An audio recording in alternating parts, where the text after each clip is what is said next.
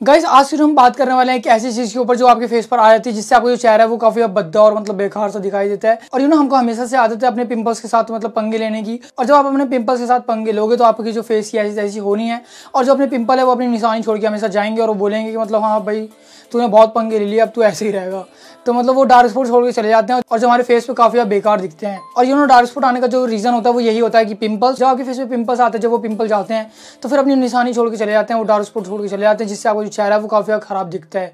काफ़ी सारे कमेंट्स आते हैं, भाई, डार्क स्पॉट के ऊपर वीडियो बनाओ। तो लो भाई, आ चुका आपका भाई नया वीडियो लेके। और आज की जो वीडियो है, वो होने वाली डार्क स्पॉट के ऊपर। तो दो पार्ट में जो वीडियो डिवाइड है। फ़र्स्ट में हम देखेंगे कि आप क्या मिस्टेक करते हो और उससे आपको कैसे बचना है। और सेकंड में हम देखेंगे कि आप इसको कैसे सही कर सकते हो होम रेमेडी के थ्रू तो यू नो हम कोई मतलब ऐसे प्रोडक्ट यूज़ नहीं करने वाले, हम होम रेमेडी के थ्रू इसको सही करने वाले हैं। तो इस वीडियो को लास्ट तक देखते रहना वीडियो काफ़ी इंटरेस्टिंग होने वाली है। फ़र्स्ट जो हमारे पास है, वो है डॉन पॉप योर पिंपल अब यार जो मैं पंगे वाली बात कर रहा था, वो यही होती है कि जब आपके फेस पे पिंपल आते हैं तो आप उसको बार बार फोड़ने लग जाते हो और जिसकी वजह से आपके जो डार्क स्पॉट है, वो आते हैं। तो बार बार अगर आप फोड़ते हो उसको तो मत करो, ऐसा नहीं। तो फिर आपके फेस पर डार्क स्पॉट आ जाएँगे और वो काफ़ी खराब दिखने वाले हैं। नेक्स्ट है स्किन प्रोडक्ट्स आजकल के टाइम पे बहुत सारे ऐसे स्किन के प्रोडक्ट्स आ चुके हैं जिसमें काफ़ी ज़्यादा जो केमिकल है वो कूट कूट के भरे हुए रहते हैं। और उसको आप यूज़ करने से पहले भी बार नहीं सोचते कि मतलब हम इसको फेस पे लगाते तो क्या साइड इफ़ेक्ट देगा, उसके क्या मतलब इफेक्ट्स होंगे। तो जब भी आप कोई भी क्रीम या फिर मॉइस्चराइजर वगैरह कुछ भी अगर ऐसे लगा रहे हो अपने फेस पर तो सबसे पहले उस पर ध्यान दो मतलब उसमें केमिकल बिल्कुल भी नहीं होने चाहिए और वो सेफ़ होना चाहिए।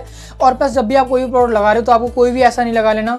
आपको मतलब सबसे पहले आप डिफाइन करने अपनी स्किन टाइप आपको अपनी स्किन टाइप के अकॉर्डिंग जो अपने प्रोडक्ट है वो यूज़ करने नहीं तो कोई भी प्रोडक्ट अगर आप लगाते हो तो कब और कैसे साइड इफ़ेक्ट देखने चले जाएगा? उसका जो इफ़ेक्ट है आपके फेस पे कैसा होगा, वो आपको पता भी नहीं चलेगा। फिर मतलब आपका जो फेस है, वो काफ़ी आप बेकार सा और गंदा सा दिखाई देगा। और फिर आप मेरे वीडियो के नीचे आके कमेंट करते हो, भाई से कैसे सही करें? तो ये सब जो गलती होती है छोटी छोटी पहले इसको सुधारो, फिर जाके आपकी जो स्किन है वो काफ़ी सही होगी। थर्ड हमारे पास जो है वो है अवॉइड सनलाइट अब यार जब आप धूप में निकलते हो तो फिर सन से आपको अपनी दोस्ती कम करनी होगी, क्योंकि अगर आप सन से अपनी दोस्ती बढ़ाओगे तो फिर सन मतलब काफ़ी ज़्यादा घातक आपके साथ कर देगा, धोखा कर देगा। तो आपको पता होगा कि जो हमारे डार्क स्पॉट होते हैं, वो पहले से ही काफ़ी एक तो डार्क होते हैं, और जब आप बाहर धूप में जाते हो तो हमारे जो डार्क स्पॉट होते हैं, वो सन की यूवी रेज जो होती है, वो और भी काफ़ी ऑब्जॉर्व करते हैं, जिससे मतलब वो और भी काफ़ी ज़्यादा डार्क होते चले जाते हैं। तो हमारे जो डार्क स्पॉट होते हैं, उसमें मेलेनिन काफ़ी ज़्यादा होता है, जिसकी वजह से वो काफ़ी ज़्यादा डार्क दिखाई देते हैं। और अगर आप धूप में जाओगे तो वो और भी काफ़ी डार्क होते जाएँगे। तो आपको जो सनरेज है, उससे बचना काफ़ी ज़्यादा ज़रूरी है। इसके लिए आप कोई भी सनस्क्रीन अप्लाई करके बाहर जा सकते हो दस पंद्रह मिनट पहले, या फिर आप कोई भी हैंगी कैरी कर सकते हो। हैंकी मतलब मुँह पे बाँध के जाया करो। या फिर अगर आप बाइक पर जा रहे हो तो आप हेलमेट पहन के जाया करो। तो ये तो था इससे आपको बचना कैसे अब हम बात करें होम रेमेडी के ऊपर और बात करेंगे इसको आप कैसे सही कर सकते हो। तो इसके आपको क्या करें कि सबसे पहले आपको ज़रूरत होगी टमाटो की और आपको टमाटो लेना है। और टमाटो से कम से कम दस मिनट तक आपको मसाज करनी है अपने फेस पर डेली और अगर आप इससे करते हो तो इससे आप नोटिस करोगे, कुछ टाइम बाद आपके जो डार्क स्पॉट है वो काफ़ी लाइटन हो जाएँगे, वो धीरे धीरे खत्म हो लेंगे टमाटो का आप ऐसे स्किन टोनर भी आप यूज़ कर सकते हो। और जो टमाटो होता है, इससे आपकी जो स्किन का नेचुरल कलर है वो आता है। और अगर आपके जो लार्ज ओपन पोर्स हैं, अगर आप टमाटो लगाते हो तो इससे जो आपके पोर्स है, वो काफ़ी छोटे भी होते हैं। और यह टमाटो में लाइकोपिन नाम का का जो एंटीऑक्सीडेंट है वो होता है, जो सनरेज से आपके स्किन पर डैमेज आते हैं, उससे बचाता है ये। तो ये इसमें काफ़ी सही चीज़ है और टमाटो के कई सारे फ़ायदे ऐसे हैं। तो आप रोज टमाटो से मसाज करो 10 से 15 मिनट और फिर आप नोटिस करोगे आपके जो डार्क स्पॉट है वो मतलब छू मंत्र हो जाएँगे। नेक्स्ट जो रेमेडी है वो है योगर्ट प्लस लेमन योगर्ट मतलब होता है दही और लेमन मतलब आपको पता है योगा नींबू। अब आपको इसमें क्या करना है कि आपको दो स्पून कर्ड लेना है।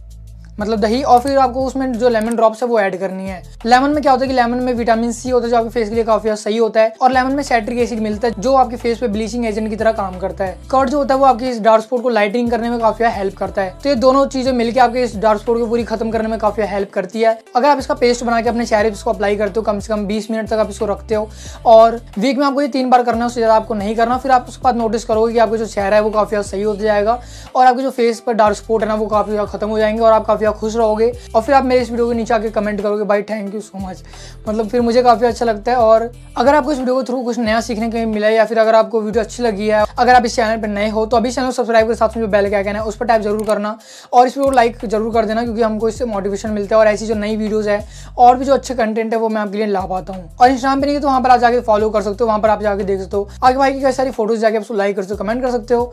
तो बस हम मिलेंगे ऐसी दूसरी एक्साइटिंग वीडियो में, तब तक लिए पीस आउट